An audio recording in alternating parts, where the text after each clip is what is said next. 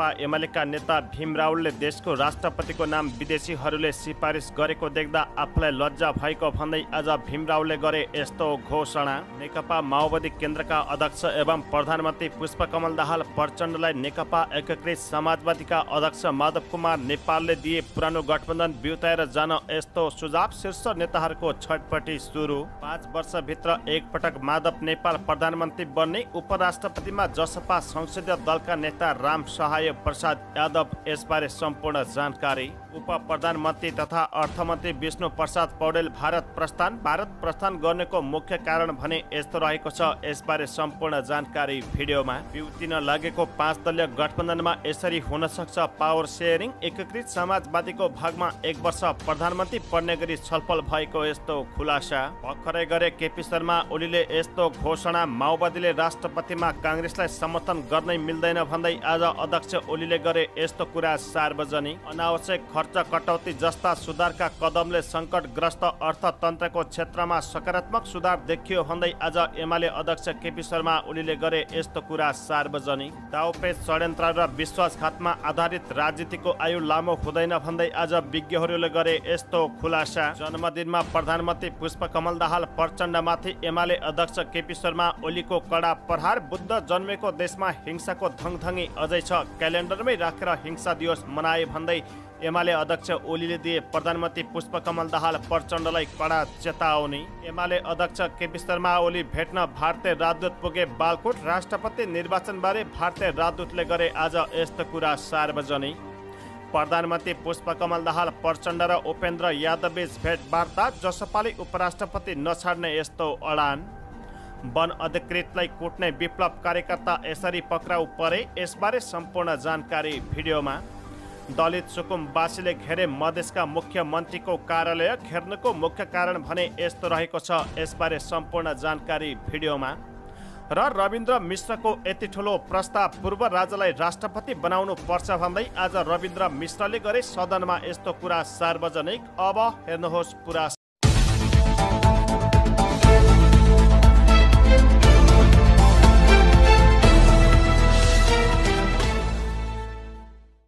दर्शकबिन नमस्कार। तपाईँहरू यति बेला हेर्दै हुनुहुन्छ हाम्रो अनलाइन खबर। दर्शकबिनहरू सदाका दिन जस्तै आज पनि विशेष रिपोर्टका साथ उपस्थित भइसकेका छौँ। दर्शकबिनहरू यो भिडियोलाई अन्तिमसम्म हेरेर सुनेर हामीलाई साथ दिनुहोला। र यदि तपाईँहरूले अहिलेसम्म पनि च्यानललाई सब्सक्राइब गर्नुभएको छैन भने च्यानललाई सब्सक्राइब गर्नुहोला र नजिकै रहेको बेलायकन दबाएर हामीसँग निरन्तर रूपमा जोडिरहनुहोला।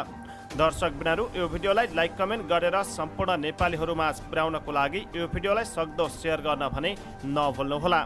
दर्शक बिनाहरू समाचार सुरु गरौँ आजको पहिलो प्रसङ्गबाट। दलहरू बिचमा सहमति राष्ट्रपतिको उम्मेद्वारको खोजी पेचुलो बन्दै गर्दा पूर्व राजा ज्ञानेन्द्र शाहलाई राष्ट्रपति उम्मेद्वार बनाउन बहस सुरु भएको छ।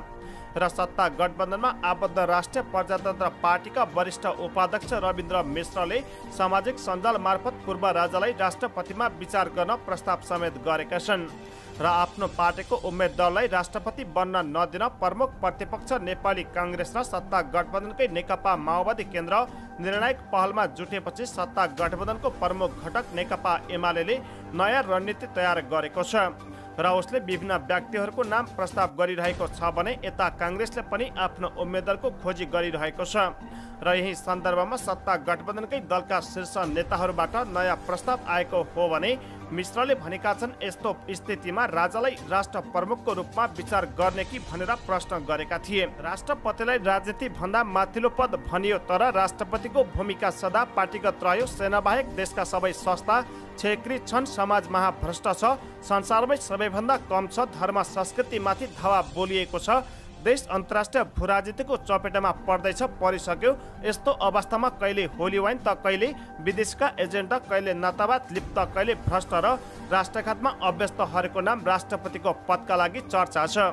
र राष्ट्रपतिको संस्था भनेको सङ्कटको घडीमा आठ दिने कुशन हुनुपर्ने हो। तर त्यो कुशासनको केन्द्रबिन्दु बनेको छ। देश नै निरन्तर कमजोर बदनाम र सङ्कट उन्मुख बन्दै गएको अवस्थामा राजा ज्ञानेन्द्रलाई राष्ट्र प्रमुखको रूपमा किन अघि नसार्ने भन्दै उनले प्रश्न समेत गरेका छन्।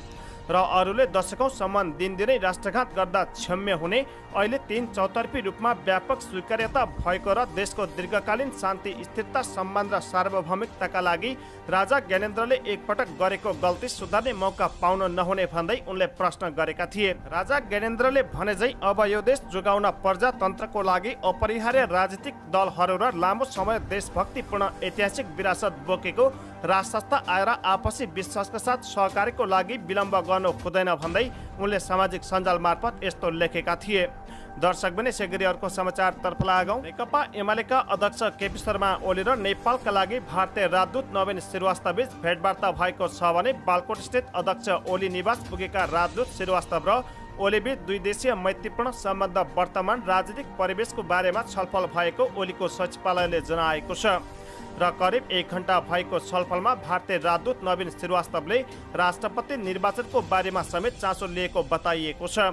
र यसअघि ओलीसँग नेपालका लागि चिनिया राजदूत समेत भेटेका थिए भने राष्ट्रपतिको निर्वाचन नजिकै गर्दा नेताहरूसँग भारत र चिनका राजदूतहरूले भेटघाट तीव्र बनाएका छन्। दर्शक पनि सेग्रीहरूको समाचारतर्फ लागौँ। नेकपा एमालेका अध्यक्ष केपी शर्मा ओलीले अहिलेको सरकारले हिंसालाई राष्ट्रिय दिवस मनाएर दुःखद निर्णय गरेको दावी समेत गरेका छन् भने आफ्नो जन्मदिनमा भक्तपुर स्थित बालकोटमा आयोजित विशेष कार्यक्रममा अध्यक्ष ओलीले माओवादीमा अझै हिंसाको धङधङ्गी बाँकी रहेको देखिएको समेत बताएका हुन्। र हाम्रो देश बुद्धको जन्मथलो शान्तिको देशमा हिंसा भयो हिंसा टुङ्गिएको थियो हिंसाको धङधङ्गी चाहिँ अझै पनि छ जस्तो देखिन्छ। मानिसहरूका क्रियाकलाप र व्यवहारमा भन्दै ओलीले यस्तो बताएका हुन्। र नेकपा माओवादी केन्द्रका अध्यक्ष पुष्पकमल दाहाल प्रचण्ड नेतृत्वको सरकारले फागुन एक गतेले जनयुद्ध दिवसको रूपमा मनाएको प्रति समेत ओलीले कटाक्ष गरेका हुन्। उनले भनेका छन् क्यालेन्डरमै यो दिवस राखेर सरकारले दुःखद निर्णय गरेको ओलीले आरोप समेत लगाएका हुन्। र अहिलेकै सरकारले हिंसा दिवसलाई राष्ट्रिय दिवस मनाएर फेरि पनि मनाउने भनेर क्यालेन्डरमा समेत राखेर दुःखद निर्णय गरेको छ जुन कुरा सही होइन सरकारले आकस्मिक किन गर्नु पर्यो भन्दै उनले प्रश्न समेत गरेका छन्। र ओलीले भनेका छन् आफैले छाडेर शान्ति प्रक्रियामा आएपछि किन महिमा मण्डल गर्नु पर्यो? मैले पनि बुझेको छैन यसले सम्झी सम्झिकन हिंसाप्रतिको लगाप लगाएको देखिन्छ। नेपाल हिंसाको पक्षमा छैन भन्दै एमाले अध्यक्ष केपी शर्मा ओलीले यस्तो कटाक्ष गरेका हुन्। दर्शक पनि सेग्रीहरूको समाचारतर्फ लागौँ नेकपा एमालेका नेता भीम रावलले देशको राष्ट्रपतिको नाम विदेशीहरूले सिफारिस गरेको देख्दा लज्जा भएको बताएका छन्। र सामाजिक सञ्जाल मार्फत रावलले पदका लागि भएको जति छलफल देश र जनताका लागि गरेको भए जनतालाई राहत हुने बताएका हुन्। र उनले भनेका छन् पदका लागि शीर्ष नेताहरूले जति छलफल गरेका छन् त्यसको आधा समय देश र जनताका समस्या समाधान गर्न छलफल गरेको भए जनता र देशलाई राहत हुन्थ्यो कि भनेर प्रश्न गरेका छन्।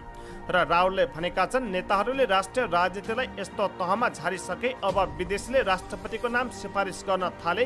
लज्जास्पद र निन्दनीय छ भन्दै भीम रावलले यस्तो कुरा सार्वजनिक गरेका हुन्। दर्शक पनि सेग्रीहरूको समाचारतर्फ लागौँ सङ्खुवा सभाको डिभिजन वन कार्यालयका सहायक वन अधिकृतलाई कुटपिट गरेको आरोपमा विप्लव कार्यकर्ता पक्राउ परेका छन्। र पक्राउ पर्नेमा नेपाल कम्युनिस्ट पार्टी विप्लवका कार्यकर्ता लोकेन्द्र लिम्बू रहेको जिल्ला प्रहरी कार्यालय सङ्खुवा सभाका डिएसपी वीरेन्द्र गोदारले जानकारी दिएका छन्। र बेलुकी पाँच बजे कार्यकक्षमै प्रवेश गरेर विप्लव कार्यकर्ता लिम्बू सहितको टोलीले सहायक वन अधिकृत नवीन राज दाहाललाई कुटपिट गरेको डिएसपी गोदारले बताएका छन् भने प्रहरीले लिम्बूलाई नयाँ बजारबाट राति पक्राउ गरिसकेको छ र गिरफ्तार भएका लिम्बूमाथि अनुसन्धान भइरहेको डिएसपी गोदारले बताएका छन् भने घटनामा संलग्न अन्यको पनि खोजी भइरहेको जिल्ला प्रहरी कार्यालय सङ्खुवा सभाले जनाएको छ।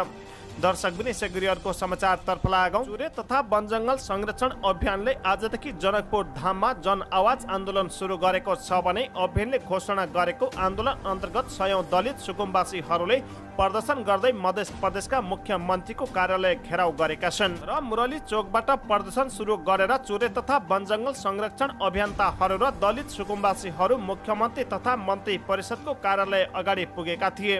र उनीहरूले मुख्यमन्त्री कार्यालय घेराउ गरेका छन् भने कार्यालय अगाडि ठुलो सङ्ख्यामा सुरक्षाकर्मी तैनात गरिएको छ भने उनीहरूलाई सुरक्षाकर्मीहरूले कार्यालयको करिब दुई सय मिटर अगाडि नै रोकेका छन्। र प्रदर्शनमा सहभागीहरूले भूमिहीनलाई जग्गा देऊ दिलीप महतोलाई पर्यावरणीय शहीद घोषणा गर चुरे वनजङ्गल संरक्षण गर चुरे अभियन्ताहरूमाथि लगाएको झुट्टा मुद्दा फिर्ता गर जस्ता नाराहरू लगाएका छन्। र प्रदेश सरकारसँग गरेको सात बुधे सम्झौता कार्यान्वयन गर्न पनि उनीहरूले माग गरेका छन् भने अभियानका संरक्षक तथा सामाजिक अभियन्ता सरोज रायले पटक पटक आन्दोलन गर्दा पनि माग पुरा नगरेकाले बाध्य भएर आजबाट अनिश्चितकालीन धर्ना बस्न लागेको उनले जानकारी दिएका हुन्। र अहिलेको प्रदर्शनमा सहभागी सबै धर्नामा बस्छौँ हामी यही खाना पकाएर खान्छौँ र धर्ना बस्छौँ उनले भनेका छन् भने माग पुरा नभएसम्म धर्ना जारी रहन्छ उनले भनेका छन्।